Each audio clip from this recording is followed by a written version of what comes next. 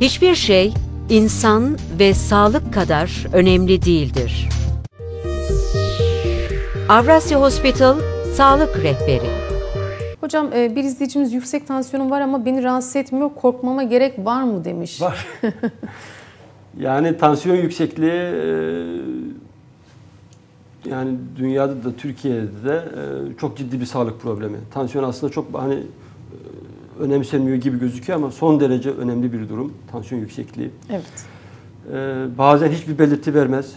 Özellikle böyle çok yavaş yavaş geliştiği için belirtilere ne zaman vermeye başlıyor? Ancak organlara zarar vermeye başladıktan sonra, ciddi problemler oluştuktan sonra belirtiler çıkıyor. Ama o zaman işten geçmiş oluyor zaten.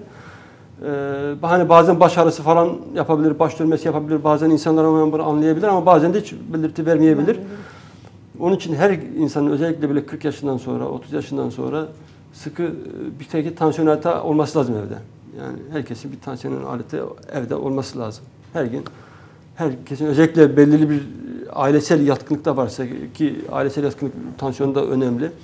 Tuz alışkanlığı, tuzlu yiyorsa, sigara içiyorsa, işte obezite varsa, düzenli spor yapmıyorsa gibi bu tür durumlarda tansiyonu muhakkak herkesin ölçmesi lazım.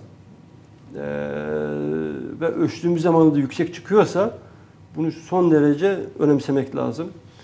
Çünkü tansiyon ıı, yüksekliği bu damar içine yapılan basınç e, beyinde, gözde, kalpte, böbreklerde e, çok ciddi hasarlar yapıyor yıllar içerisinde e, ve daha sonra da ciddi sağlık problemleri yapıyor. Ciddi kalp yetmezliklerine sebep olabiliyor, damar yırtılmalarına sebep olabiliyor, damarlarda genişlemelere sebep olabiliyor, böbrek problemlerine sebep olabiliyor, felç geçirmelerine sebep olabiliyor. Yani çok ciddi bir problemdir. Muhakkak e, dikkat etmek lazım.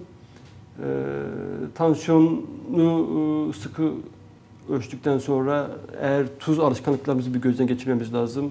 Yeme alışkanlıklarımızı bir gözden geçirmemiz lazım. Kiloyu muhakkak kontrol altına almamız lazım. Muhakkak düzenli spor yapmamız lazım.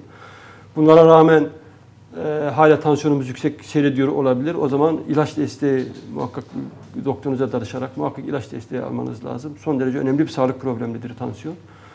E, yani hiç şikayet yapmıyor diye e, kesinlikle göz ardı etmemek lazım. Muhakkak üstüne gitmek lazım. Evet. Peki hocam şimdi e, izleyicilerimizden gelen sorularda e, açık ve kapalı bypass ameliyatları neye göre yapılıyor? E, hastanın teşhis tedavi tanısına göre mi ya da hangi aşamada siz karar veriyorsunuz diye gelen sorular. Yani kapalı bypass ameliyatı dediğimiz yani robotik yöntemlerle kastediliyor. Bir kısmı bir kısmı da e, çok minimal invaziv dediğimiz çok küçük kesilerle hı yapılabiliyor. Şimdi robotik olarak e, dünyada çok daha böyle yaygınlaşamadı. Yani yapan aslında dünyada birkaç yerde böyle sıkı seriler var, büyük seriler var.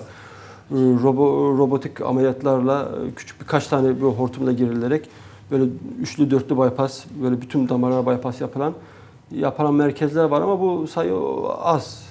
Türkiye'de şu anda bir iki merkez yapabiliyor ama kısıtlı sayıda. O da bir damara yani yapılabiliyor. Böyle 3-4 damara komple yapılması şu anda daha çok yaygın değil. Türkiye'de de maalesef yaygın değil. Ama bir, bir, bir teknolojik bir problem. Biraz e, pahalı bir yöntem. E, çok daha oturmadı.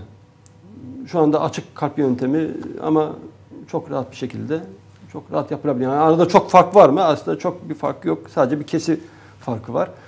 Yani bu kemiği kesmemek için işte yapılan bir yöntem. Ama yapılan işlem her şey aynı. Yani aynı. çok bir risk açısından çok bir fark bir yok. Hatta bazen bu tür ameliyatlar daha e, uzun sürebiliyor. Daha bazı riskleri olabiliyor.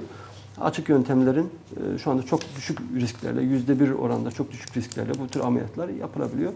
Yani illa da yani kapalı olacağım, işte açık çok kötü, kapalı çok iyi diye bir şey yok. Bu sadece estetik bazı bir takım e, şeyleri var. E, post ameliyat sonrası belki çabuk iyileşme dönemleri biraz farklılıklar olabilir ama sonuçta uzun dönemde bir fark yok yani.